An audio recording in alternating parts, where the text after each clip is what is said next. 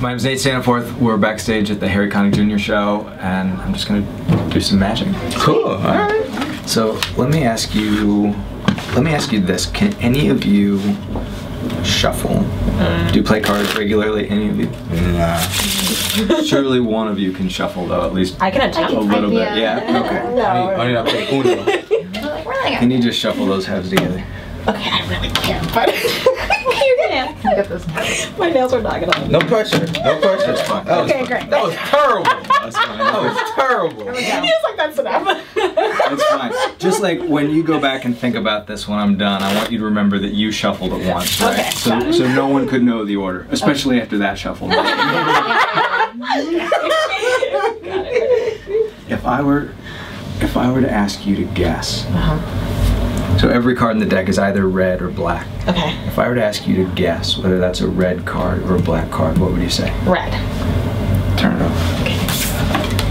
All right, so you have 50-50 chance, right? Yeah. Hmm. Quest, I'm gonna have you help with this, right? Okay. So I'm gonna ask the same question of you.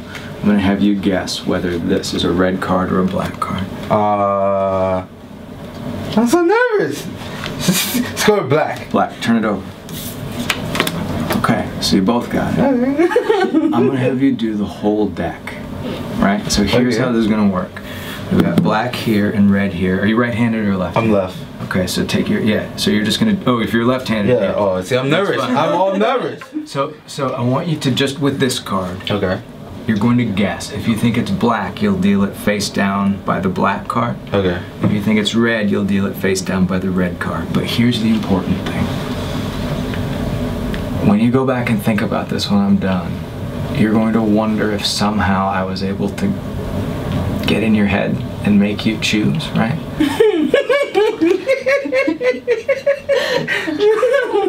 so you need to know Yeah. that it's your choice. That I'm not making you say red or black. It has to be up to you.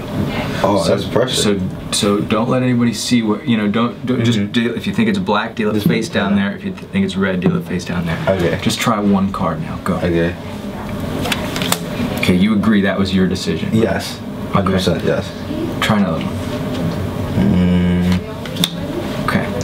I'm gonna ask you to keep going and gradually get faster and faster. okay. Don't think too much. Just get a rhythm going. I'd remind you that the piles are going to be approximately the same size. Because they're the same number of red cards and black cards. But I don't want you to worry about it too much. Just Okay. red, black, whatever you want.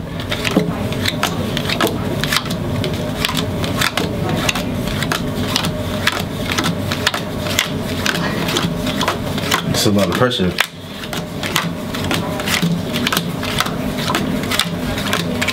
Okay. Mm-hmm. Let me tell you why I love this so much, right? Why? One of the reasons that people get into magic is because they love that sense of, of astonishment and wonder, right? Mhm. But one of the things that happens when you learn the secret of a magic trick is it makes it hard harder to be amazed by that trick, right? Which is is why I love this so much because you agree that you did all of that, Yeah. right? You shuffled the cards, Yes. and you did the dealing. Yes, I did. And you know that those were your choices, Mhm. so you decided these were black. Mm -hmm. You guessed that this one was black. you guessed that this one was black. And you guessed that this one was black. And this one. And this one. Wait a minute. What? Stop. And this one. And this one. Oh, what? And this one. And you don't have to take forever because I know we're on camera, but like when I spread them out, you can see you got all oh the red cards over here. Hold on. What? And all Time the out. black You're a What? magician. over here. Time out. What? You're a magician. What? Oh my gosh. What? what?